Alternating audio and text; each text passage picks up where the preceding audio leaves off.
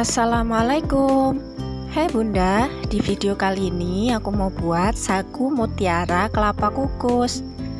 Resep ini adalah alternatif terbaik jika bunda merasa bosan dengan olahan sagu mutiara yang itu-itu saja.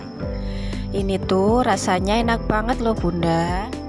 Manis dan aroma kelapa itu uh, membuat sensasi yang luar biasa pada makanan ini. Langsung saja kita buat ya sagu mutiaranya.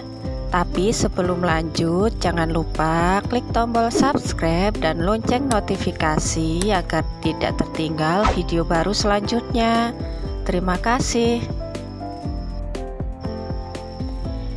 Rebus dulu sagu mutiaranya. Ini aku pakai satu gelas belimbing ya.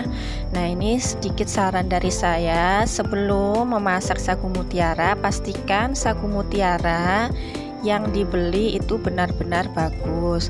Ini aku salah beli ya bunda. Jadi waktu dikukus itu dia langsung hancur. Kita kita rebus selama 5 menit kemudian kita tutup dengan tutup panci dan biarkan kurang lebih 20 menit sebelum kita rebus kembali.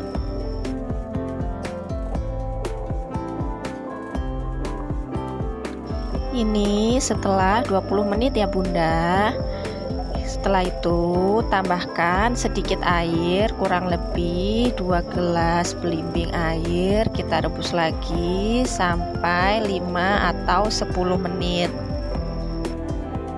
Aku mutiara yang sudah direbus lagi. Ini aku tuang ke tompo ya bunda. Jadi sisa-sisa airnya yang itu turun dan yang dipakai yang ada di tompo.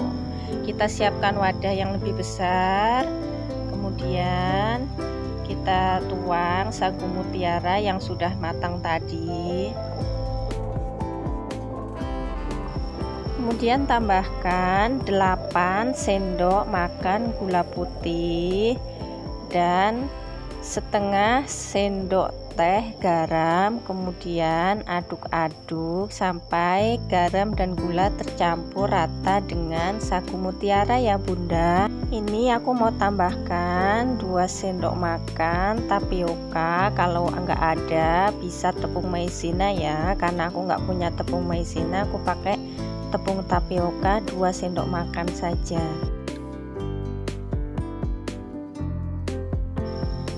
setelah itu tambahkan 3 pisang jantan. Ini aku pakai pisang jantan yang sudah matang. Kita potong-potong dadu seperti ini kemudian diaduk-aduk sampai tercampur merata.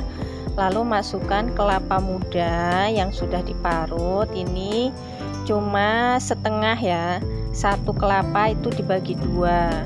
Aduk-aduk sampai tercampur merata semuanya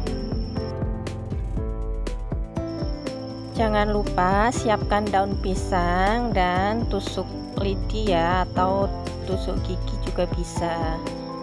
Kita bungkus sebisanya saja. Kalau bisa eh, jangan sampai ada yang keluar adonannya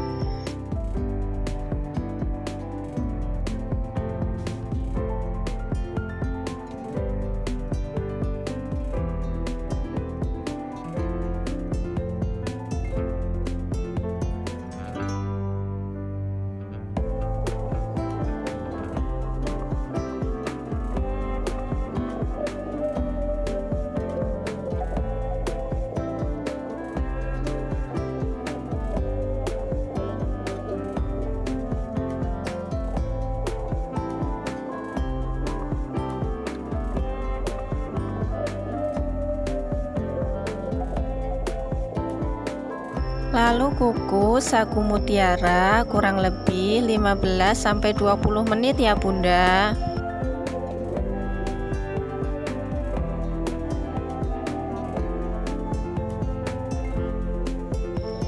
Nah ini udah 20 menit ya Ini keluar-keluar adonannya karena aku ngisinya terlalu banyak Sagu mutiara kelapa kukus siap dinikmati. Ini tuh enak banget loh bunda, rasanya manis, legit, dan gurih dari kelapanya itu terasa banget. Nah apalagi kalau udah masuk kulkas ini bisa tahan sampai satu minggu loh Apalagi kalau udah dingin itu tambah nikmat Terima kasih sudah menonton video ini sampai akhir ya. Jangan lupa dicoba di rumah. Semoga resepnya menginspirasi dan bermanfaat. Sampai jumpa lagi di video-video selanjutnya. Assalamualaikum warahmatullahi wabarakatuh.